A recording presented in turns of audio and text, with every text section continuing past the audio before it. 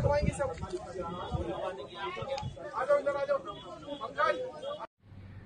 थाना दिव्यापुर क्षेत्र के संबंध में एक वीडियो चैनल के माध्यम से तथा व्हाट्सएप के माध्यम से प्रकाशित कर गलत सूचना चलाई जा रही है कि परिवारी जन शव को ले जाने से मना कर रहे थे और पुलिस के द्वारा जबरन शव को ले जाया गया। इस संबंध में क्लैरिफाई करना है।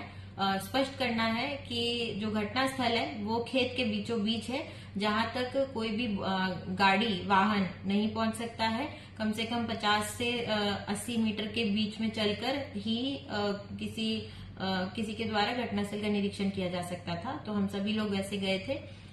शव को पीड़िता के शव को पोस्टमार्टम के लिए ले जाना था।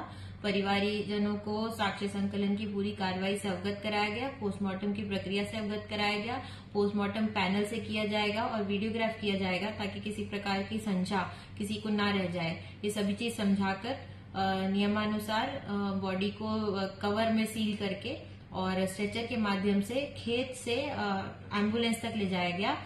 जिस वीडियो को गलत तरीके से प्रकाशित किया जा रहा है इस संबंध में इस क्लैरिफिकेशन के माध्यम से जो भी ये गलत सूचना चला रहे हैं, उन्हें सचेत किया जाता है कि भविष्य में इस प्रकार की कोई गलत सूचना बिना संदर्भ बताए, न चलाई जाए जिससे लॉ एंड ऑर्डर की कोई स्थिति उत्पन्न हो।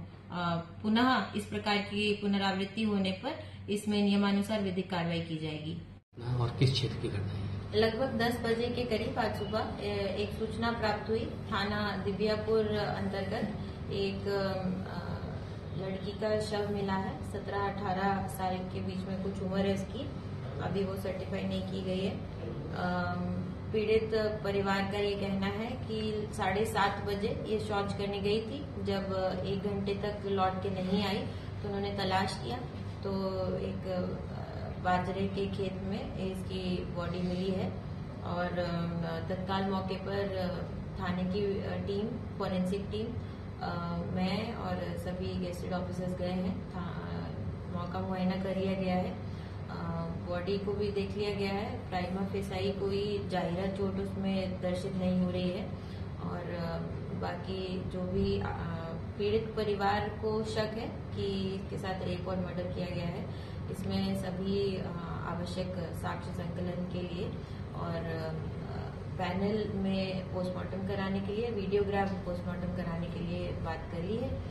शीघ्र पोस्टमार्टम करा के तहरीर जिस पर भी यदि शक है वैसे शक ज़ाहिर नहीं किया जा रहा है किसी पर भी। परिवार का कहना है कि आ, किसी से फ़ोन पर बात नहीं करती थी घर में एक ही फ़ोन था।